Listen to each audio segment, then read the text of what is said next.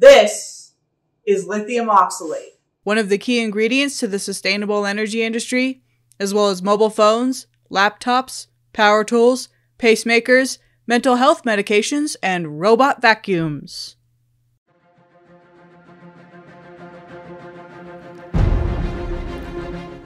This is actually stevia in the raw. I'm not a doctor, but I don't think it's advisable to eat lithium oxalate. Lithium is the third element on the periodic table, and one of the three elements that cosmologists say was dropped by the Big Bang. There's a lot of it in the universe. But the International Energy Agency has been predicting a shortage of it by the year 2025. That's next year. We will discuss how that's possible.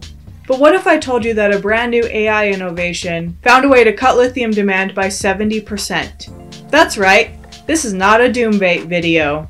Today, we're going to talk about machine learning innovations that are groundbreaking for the mining industry, and by proxy, also for tech and EVs. And in honor of the Sora news that a lot of other YouTube channels have covered very well, I decided to let AI sources make a lot of the B-roll for this video. All of the AI tools I use are open source and available for anyone to use. I'm curious to see if anyone in the comments can identify all of the AI clips.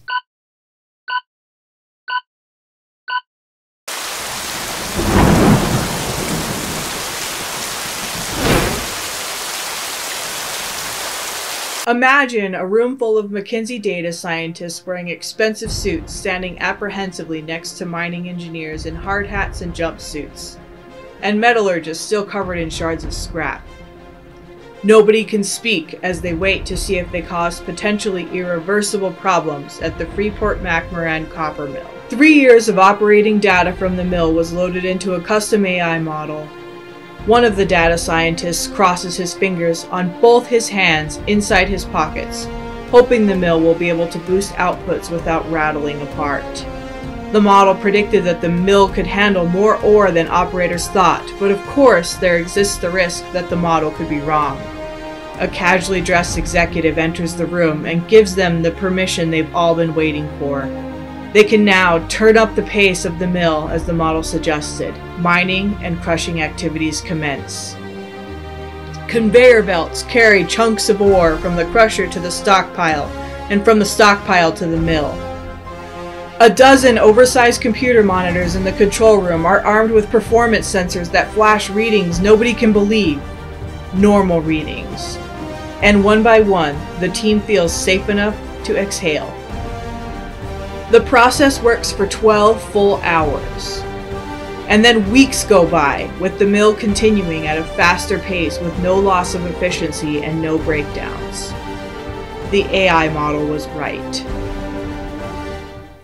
Mining prospectors had first staked their claims in Bagdad, Arizona, way back in 1882, and the executives thought it had gotten as efficient as it could with the existing vintage equipment. They were planning for a $200 million capital expansion that could boost production, but copper prices crashed.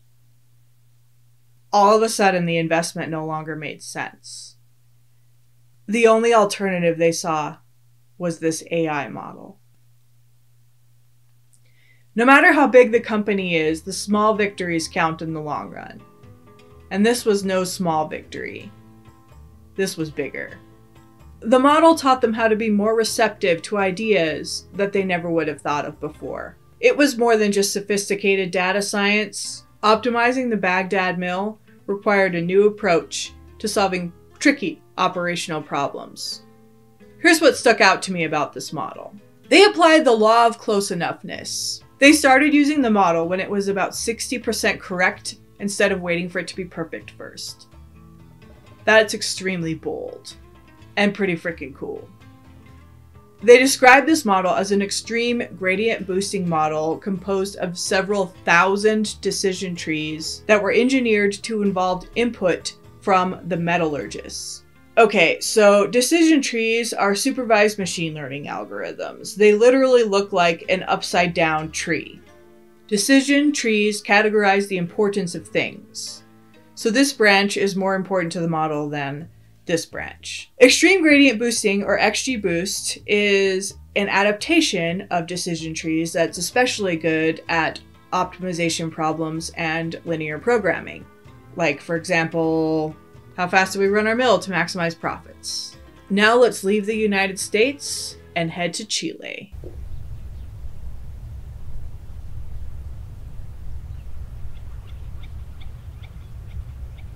Come with me as I show you around this giant salty flatland that was once a lake about two and a half million years ago. Today they call it the Lithium Triangle. A supervisor watches as a bunch of water is pumped into the salty desert wasteland. He walks around to the other pools of salty sludge. As the water evaporates, it leaves behind a white powder called lithium oxalate and a whole bunch of toxic waste. This is how lithium is made. It's a process called brine mining. How much land do you think this is? And how long do you think it takes for the sun to evaporate all the water out of this gross looking science experiment? As the world's demand for lithium grows, Albemarle has ramped up their production. They're trying their best to fight against an ever impending lithium shortage. They haven't been able to mine the stuff fast enough to keep up with demand, and pumping water into desert pools isn't exactly economically efficient. But a new AI might have changed all that. As a cooperative effort with Microsoft, the Pacific Northwest National Laboratory used AI and a quantum computer to feed 32 million combinations of chemistry crap through an algorithm, and the AI discovered a new solid state electrolyte that could cut our need for lithium by 70%. yeah. For those of you, including myself, who aren't chemists, electrolytes are substances that naturally have a positive or negative charge, which is why they're used in batteries. This new material is actually also predicted to improve the safety of lithium batteries by reducing the risk of them bursting into flames. now, I actually own a product manufactured by Elon Musk that has this bursting into flames feature.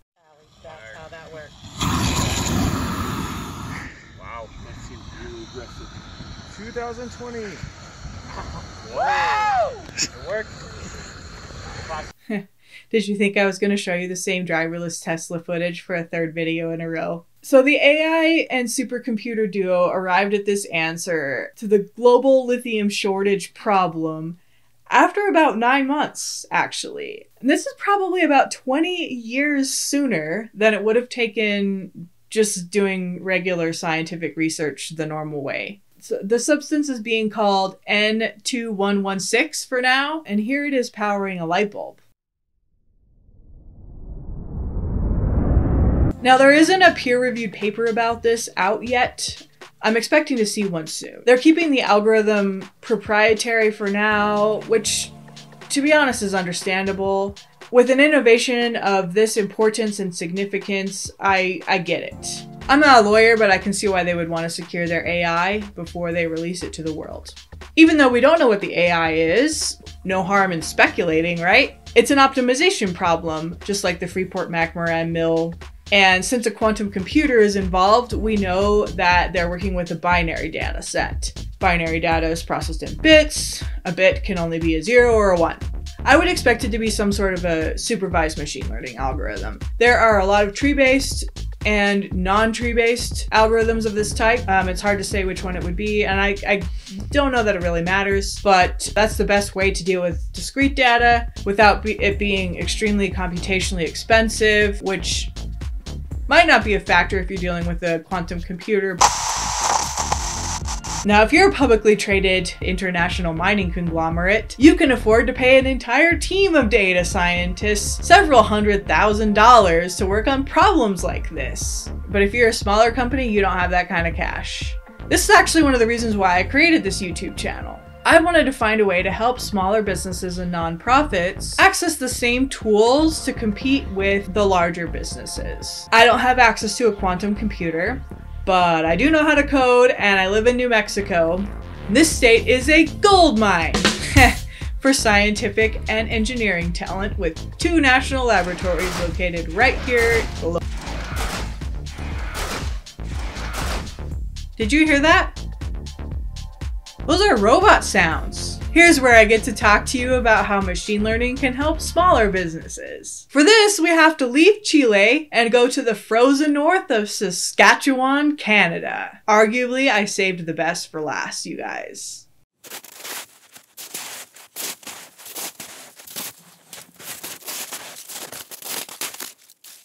A brave robot makes his way down a long channel of basement rock deep under a thick layer of sandstone. His destination is a deposit of highly radioactive uranium ore sandwiched deep between the two layers of rock.